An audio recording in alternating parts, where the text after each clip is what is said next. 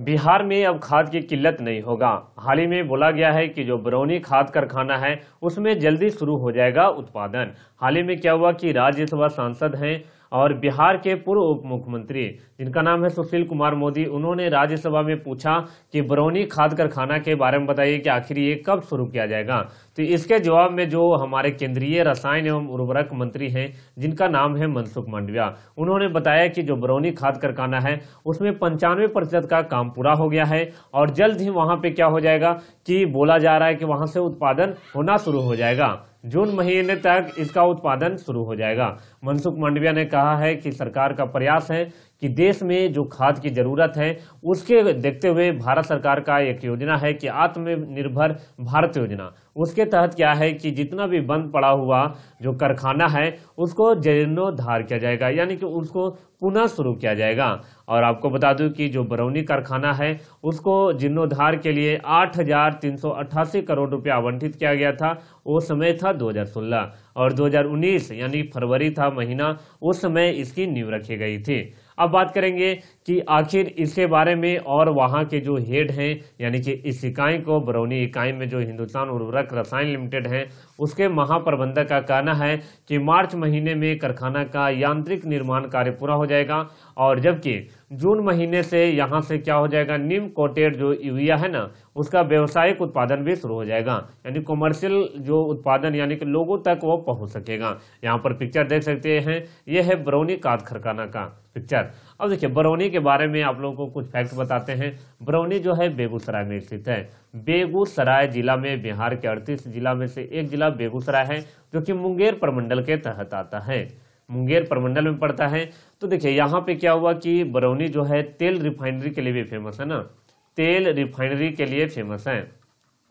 और यहाँ पे तेल रिफाइनरी के लिए फ़ेमस है। और यहाँ पे इंडियन ऑयल कॉरपोरेशन लिमिटेड जो है, वो यहाँ पे इसको चलाती है, इस रिफाइनरी को। तो जो ये रिफाइनरी है, जो तेल शोधशाला है, यहाँ से नेपता निकलता है।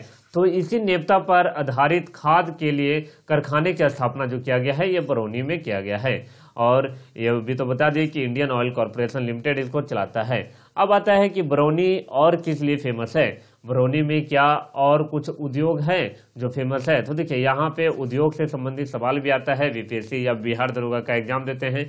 तो यहाँ पे उर्वरक उद्योग के लिए फ़ेमस है। फिर इसके अलावा कोयला आधारित।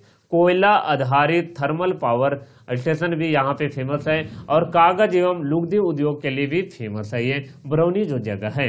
एक और चीज़ आपको बता दूँ कि बरौनी से संबंधित ये सवाल आता है कि जो यहाँ पे तेल रिफाइनरी है, यानी कि बरौनी तेल रिफाइनरी का स्थापना पूछता है तो आप लोगों को सही आंसर उन्नीस जाएगा, जो कि किसके मदद से किया गया था?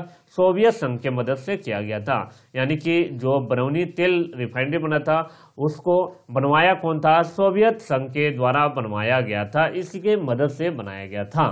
अब देखिए, इसमें एक और चीज़ कहा जा रहा था कि चर्चा में रहने का कारण भी था कि जो ये बना है ना खाद कारखाना बनना है, उसमें नाम नाम को लेकर इशू था। लोग बोल रहे थे कि नहीं, इसका नामकरण जो है, बिहार के प्रथम मुख्यमंत्री जिनका नाम था, श्री कृष्ण सिंह।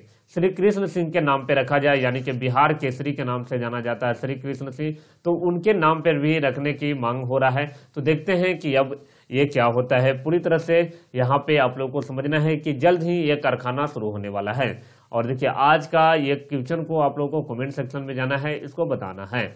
सवाल है कि भारत का एकमात्र रामसर स्थल, जिसका कवर ताल कहीं कहीं देता है और कहीं कहीं कावर ताल। तो जो भारत का एकमात्र रामसर स्थल है कावरताल ये बिहार के कौन सा जिला में स्थित है? जो भी आप लोगों को आंसर लगता है, उसको जाके कमेंट सेक्शन में टाइप करिए, बताइए, और उससे संबंधित कुछ फैक्ट है तो आप लोगों को भी शेयर करना है। कावरताल के बारे में आप लोगों को बता दूँ कि ये पूरे एशिया का सबसे बड़ा फ्रेश वाटर फ्रेश वाटर जो ऑक्सबो लेक है ऑक्सबो लेक है अच्छा ऑक्सबो लेक से संबंधित क्या है? आखिर ऑक्सबो लेक है, ये क्या होता है? तो देखिए ऑक्सबो लेक जो होता है ना तो ये नदी से अलग होकर बनता है। जैसे ये नदी है, ये नदी है तो यहीं से अलग होकर बन जाता है। ये ऑक्सबो लेक बनता है। तो एशिया का सबसे बड़ा फ्रेश वाटर ऑक्सबो लेक है, एक फैक्ट बता दिए। दूसरा आप लोगों को जानना है कि ये इसको बनाया कौन था? कवरताल को हम बताएँ कि ऑक्सबो लेक है। तो आखिर बनाया होगा ना कोई नदी? तो इसको गंडक नदी बनाया है।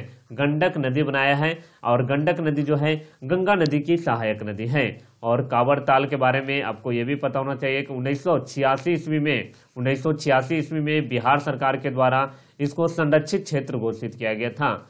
संरक्षित क्षेत्र यानी प्रोटेक्टेड एरिया के रूप में और 1989 वो समय था जब भारत सरकार के द्वारा इसको पक्षी अभ्यारण्य घोषित कर दिया गया था।